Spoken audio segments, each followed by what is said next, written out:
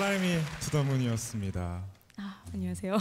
아, 반갑습니다. 아 반갑습니다. 거의 한 반년 만에 다시 포유에 나, 나오신 것 같아요, 그죠? 예 일집 활동하면서 하다가 또 제가 이집 나온지 예. 또 한 달 반, 한두 달 정도 된 것 같네요. 그러니까요. 불러주셔서 감사합니다.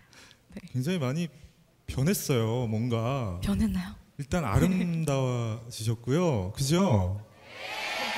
네. 그리고 일단 좀 하이의 기장이 많이 좀 짧아진 것 같아요.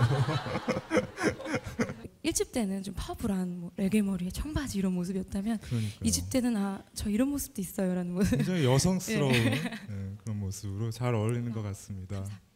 근데 무대 위에서는 점점 이렇게 화려하고 예뻐지시는데 굉장히 소탈한 삶을 살고 계셨더라고요. 거리 공연도 자주 하시고 예.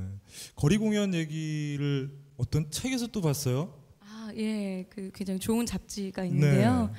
아 제가 글 쓰는 거를 뭐 굉장히 좀 좋아해요. 뭐 잘 쓰는 건 음. 아닌데 음. 일기처럼 뭐 저의 하루에 있었던 일이나 아 제가 느꼈던 점들을 뭐 홈페이지나 저의 팬분들과 이렇게 글로 대화하는 거를 굉장히 잘 음. 좋아하는데 우연치 않은 기회에 또 잡지에 또제 거리 공연 공연 네. 그 경험담을 또 실게 됐어요. 음, 2집이 나왔단 말이에요. 네. 음, 굉장히 유명하신 분들과 실력 있는 분들과 함께 많이 해서 더더욱 더 빛났던 것 같은데 소개 좀 간단하게 해주세요. 예, 뭐 주석 씨도 계시고 에픽하이 분들도 해주시고 윈디시티 오. 분들도 아 이 뭐 세 팀 다 또 제 앨범에 featuring을 해주셔서 네. 그분들의 목소리와 연주를 또 자- 직접 들으실 수 있으세요.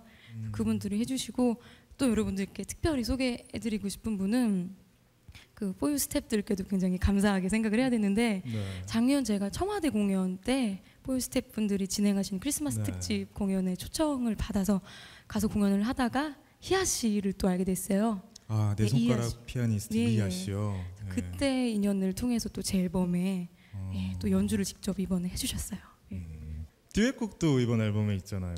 예, 그쵸. 또 오늘 여러분들께 특별히 또 들려드리려고 준비를 해가지고 왔는데요.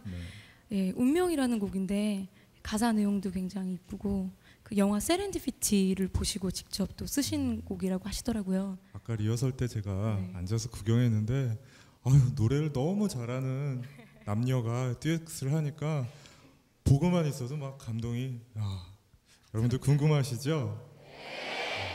같이 불러주실 분 직접 소개해 주세요. 네, 케이윌 씨입니다.